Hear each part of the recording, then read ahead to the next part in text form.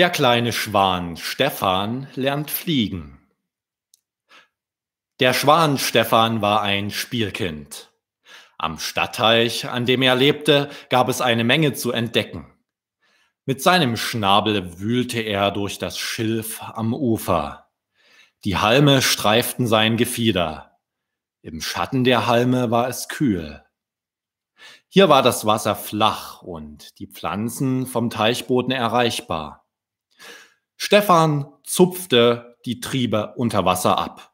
Ein bisschen hier, ein bisschen da und noch etwas Leckeres da drüben. Plötzlich fühlte er etwas Knisterndes in seinem Schnabel. Bäh! Es schmeckte nicht. Stefan wusste nicht, was das war. Es war definitiv kein Gras. Der kleine, Steff der kleine Schwan Stefan hatte auf Folie gebissen. Stefan klapperte mit seinem Schnabel auf und zu. Die Folie löste sich. Dann flatterte er zurück in die Mitte des Sees. Zurück zu Mama und Papa. Mama, Mama, rief er. Ich habe auf Folie gebissen. Ich hätte sie beinahe gegessen, beinahe verschluckt. Die Schwanenmutter legte ihren Flügel um ihr Junges. Stefan, hast du es gleich wieder ausgespuckt, ja? Ja, es hat nicht geschmeckt, quakte er. Seine Mutter hatte sich aufgeplustert. Diese Menschen, sie lassen ihren Müll liegen, wo sie wollen. Wenn sie wüssten, dass sie dein Leben gefährden, mein armes Kind, du könntest die Folie verschlucken und an ihr ersticken. Stefan wollte wiederholen, dass er die Folie doch ausgespuckt hatte, aber seine Mutter redete ununterbrochen. Sie wandte sich an Stefans Papa Samuel. Nicht nur ersticken. Samuel, stell dir vor, er hätte auch nur ein winziges Stück verschluckt. Wer weiß, was dann passiert wäre. Stefans Papa legte seinen Kopf zur Seite und sagte, Sylvie, beruhige dich. Er hat die Folie ausgespuckt. Nichts ist passiert.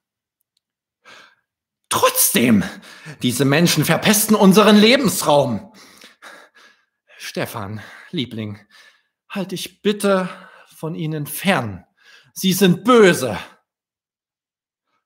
Stefan hatte noch nie einen Menschen gesehen, doch er glaubte seiner Mutter Sie würde schon recht haben.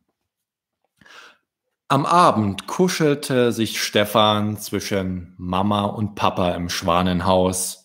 Hier war es warm. Hier lag keine Knisterfolie.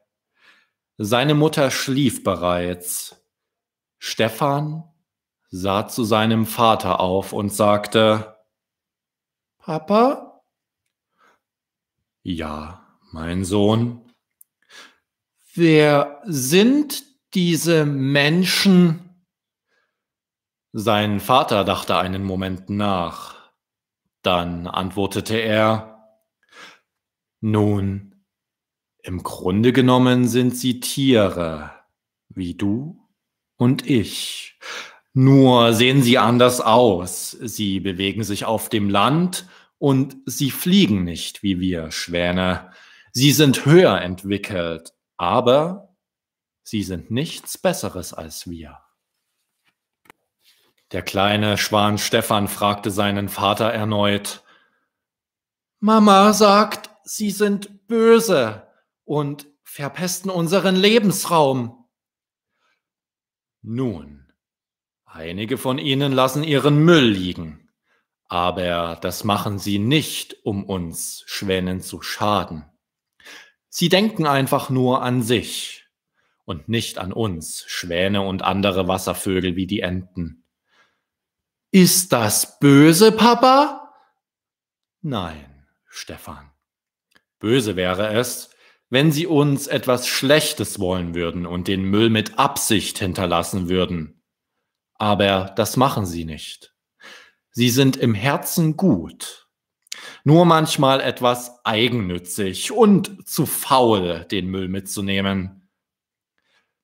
Stefan lauschte den Worten seines Vaters. Dieser fuhr fort. Die meisten Menschen nehmen ihren Müll mit. Es gibt sogar Menschen, die für uns Schwäne sorgen. Stefan, sieh dir unser Haus an, in dem wir leben. Das Haus hat ein Mensch gebaut. Dieses Haus schützt uns vor Unwettern und anderen Tieren.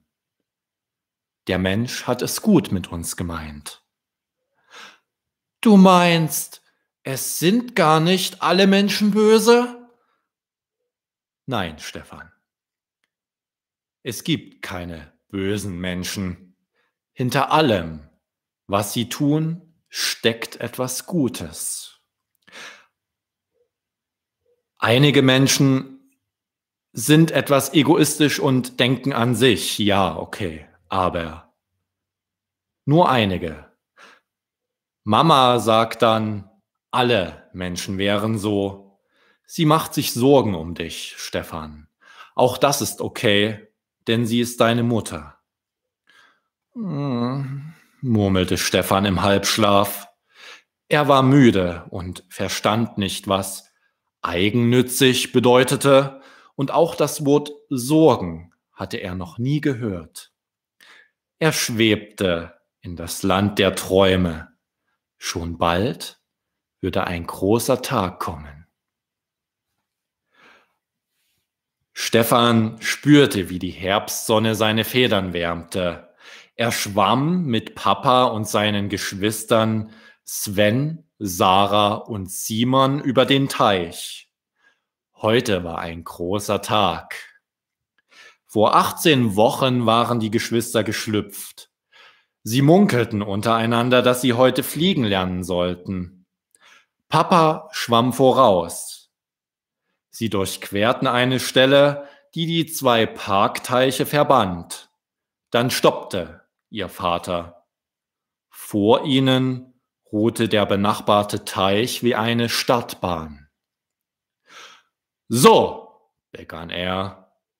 Kinder, wir Schwäne schwimmen die meiste Zeit im Wasser, doch wir besitzen auch Flügel. Wir sollten sie nutzen und die Lüfte erobern. Heute lernen wir fliegen. Sven, du fängst an. Stefans Bruder Sven schwamm von der Gruppe weg in Richtung des kleinen Teichs. Er schwamm und wurde immer schneller, schlug mit den Flügeln, lief einen Moment über das Wasser und hob schließlich in die Luft ab. Es sah so leicht aus. Sven schwebte kinderleicht durch die Luft. Jetzt du, Sarah, rief Papa. Die kleine Schwänin schlängelte sich an ihrem Vater vorbei zu der Stelle, von der auch Sven gestartet war. Sie atmete tief. Komm schon, Sarah, du schaffst das, ermutigte sie Papa. Dann flatterte Sarah mit den Flügeln auf der Stelle. Kreise breiteten sich auf der Wasseroberfläche aus, ihr Körper erhob sich und sank wieder zurück. Beweg deine Füße!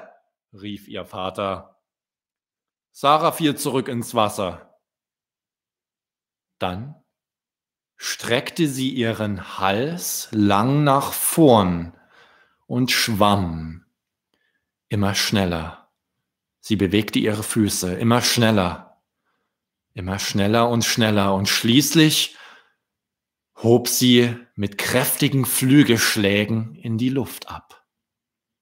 Hoch zu ihrem Bruder Sven, der über dem Teich kreiste.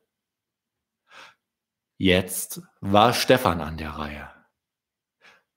Der kleine Schwan schwamm zur Stadtbahn.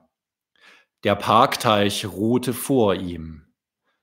Er spürte sein Herz bis in den Kopf schlagen der Wind zog durch seine Federn und drückte ihm im Wasser nach hinten.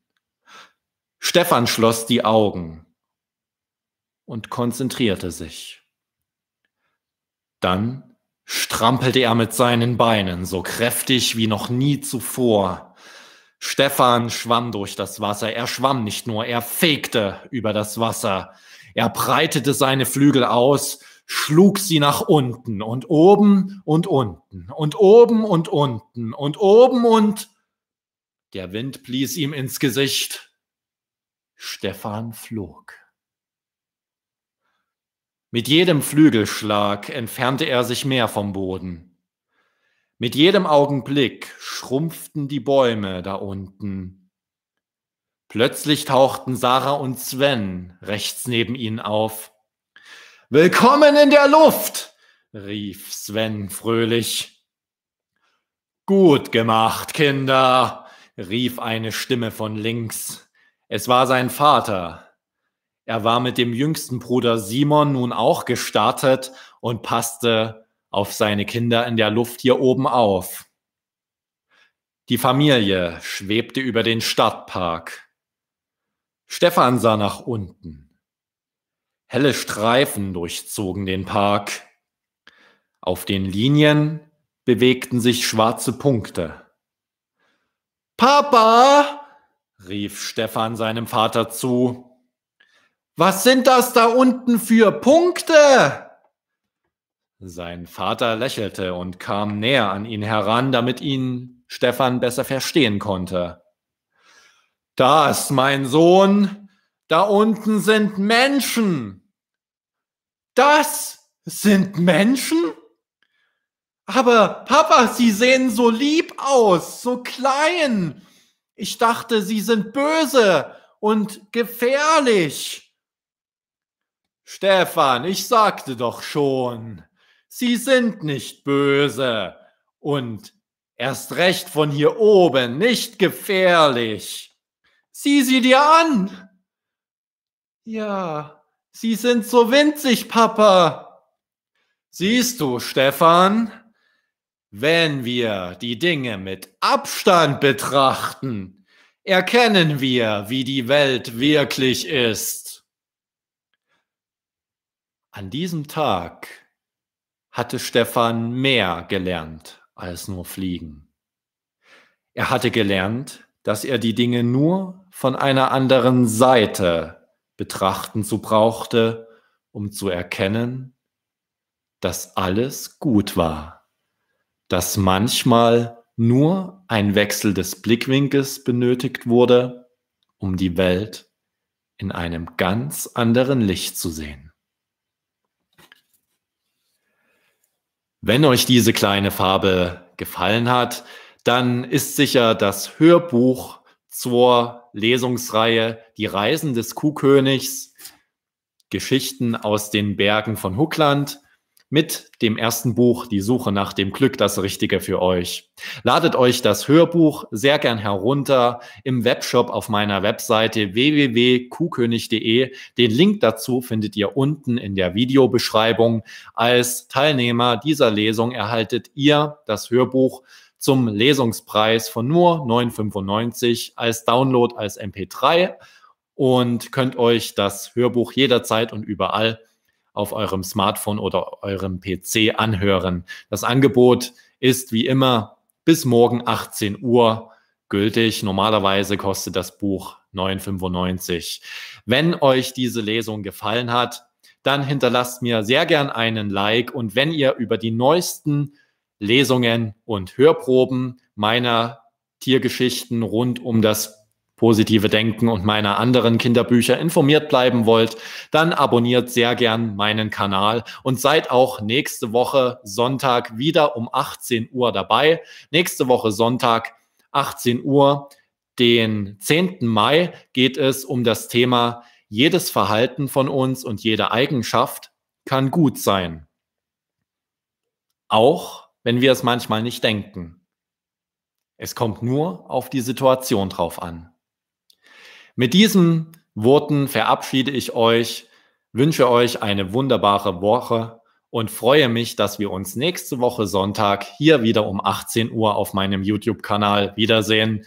Bleibt gesund, denkt positiv. Viele Grüße von Kirjan und eurem Mario Metig aus Frankfurt-Bergersheim. Tschüss!